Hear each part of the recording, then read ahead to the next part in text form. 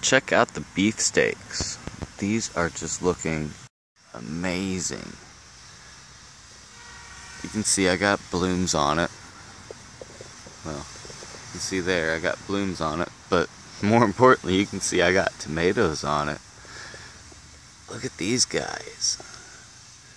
So, yeah, I'm going to show you later on though how to make sure that these things don't get the blossom end rot. Uh, it's uh, Epsom salt. I'm going to make a little mixture of Epsom salt and put on them. You can see the yellow leaves from where I, I was starting to get blight, but the uh, baking soda mix worked really well on them. So, anyway,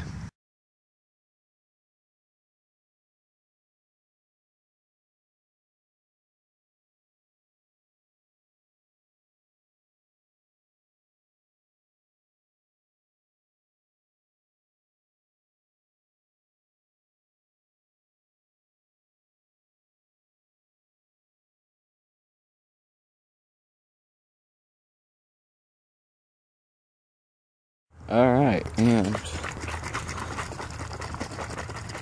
let me put about a tablespoon, maybe a little bit more in here.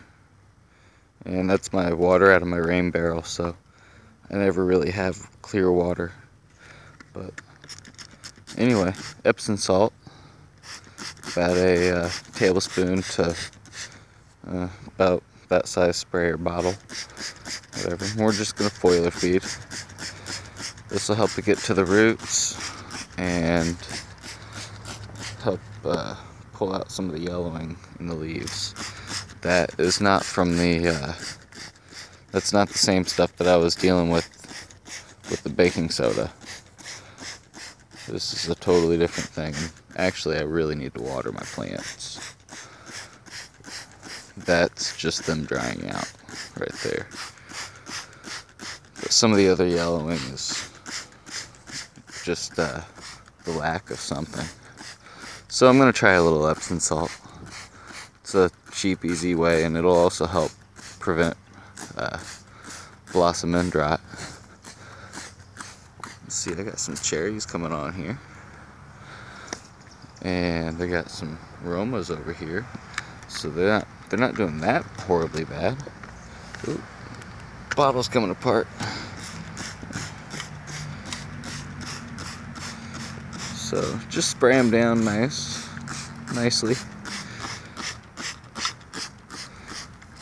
And the basil plant, I'll go ahead and get it. It's not looking too good. It's getting a lot of beetles on it. So, uh, huh.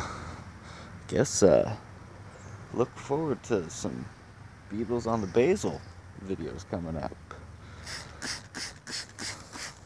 But anyway, Got this one sprayed all down. And I think I'll uh, shut you off and go spray the rest of them on that.